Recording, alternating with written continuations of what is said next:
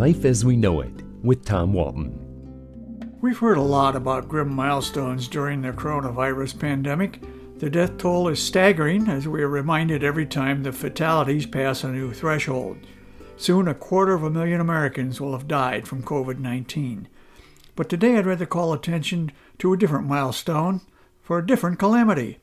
An event that took just 29 lives, but still resonates here in Toledo and northwest Ohio. Tomorrow, November 10th, will mark the passing of 45 years since the sinking of the Edmund Fitzgerald and the loss of all hands in a terrible storm on Lake Superior. Here we are four and a half decades later, and we still do not know exactly what took the grandest and fastest ship on the Great Lakes to what songwriter Gordon Lightfoot called its ice water mansion at the bottom of our greatest lake. What we do know is that the weather on Lake Superior in the early evening of November 10th, 1975, was ferociously bad. If ever there was a time when the cliche storm of the century applied, this was it. The Fitzgerald was riding low in the water, its cargo hold hauling more than 25,000 tons of iron ore pellets called taconite. Huge 30 foot waves were breaking over the long and vulnerable midsection of the ship. The Fitzgerald, like most freighters on the Great Lakes, was essentially a long floating box with an engine. Several theories persist to this day regarding the cause of the tragedy. Some say the Fitz had bottomed out earlier in the day near the Canadian shore, gashing the hull and allowing water to pour in, gradually destroying buoyancy. Others say the sheer force of the giant waves at the stern pushed the boat forward and downward to the point it could not recover. Whatever the cause, there was no time for Captain Ernest McSorley, a resident of Ottawa Hills, to even get off an SOS or launch the ship's two lifeboats. One second, the Fitz was on the radar screen of a trailing vessel, the Arthur Anderson. The next, she had simply vanished.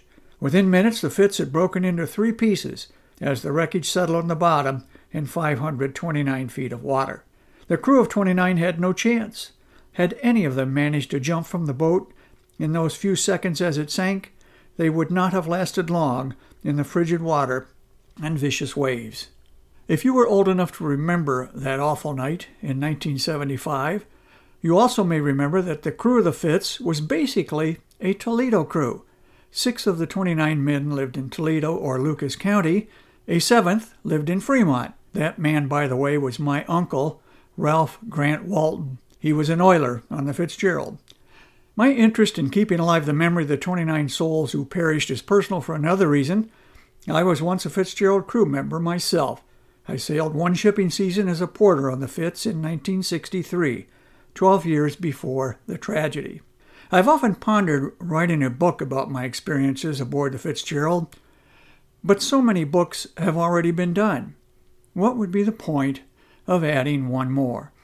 My hope is that tomorrow evening, a little after 7 p.m., You'll take a moment to silently honor the crew of 29 and the mystery that remains unsolved 45 years after it happened. Life as We Know It is written and hosted by Tom Walton and is a production of WGTE Public Media.